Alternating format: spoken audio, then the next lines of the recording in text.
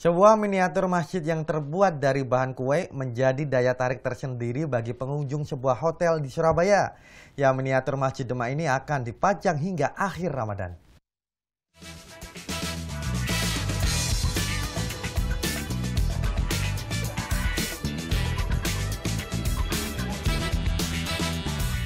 Sekilas, miniatur bangunan masjid ini nampak seperti aslinya, yaitu Masjid Demak yang ada di Jawa Tengah.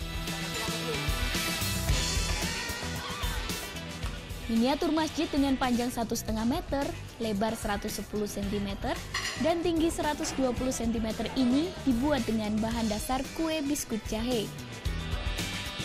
Sedikitnya butuh 15 kg tepung terigu, 2 kg jahe, 2 kg telur ayam untuk membuat miniatur masjid ini. Sementara pembuatannya memerlukan waktu hampir satu minggu. Kenapa kita ambil konsep dari gingerbread itu sendiri? Karena biasanya gingerbread ini uh, biasanya kita angkat pada saat uh, hari-hari uh, keagamaan yang lainnya. Jadi jarang ditampilkan pada saat uh, bulan suci Ramadan. Jadi kita coba untuk mengangkat uh, uh, sebuah konsep bikin masjid tapi dari bahannya adalah dari gingerbread itu sendiri.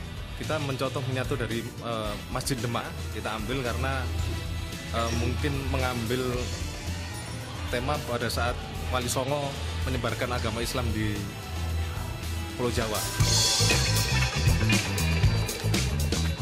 Uniknya miniatur masjid ini cukup menarik perhatian tamu pengunjung hotel di kawasan Jalan Ketintang Baru, Surabaya.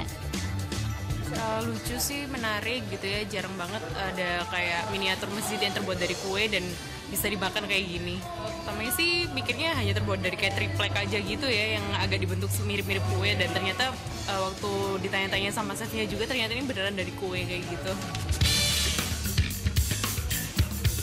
Miniatur masjid dari biskuit jahe ini akan dipajang di lobi hotel selama bulan Ramadan.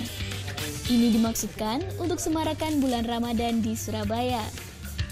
Yuda Wardana melaporkan untuk NET.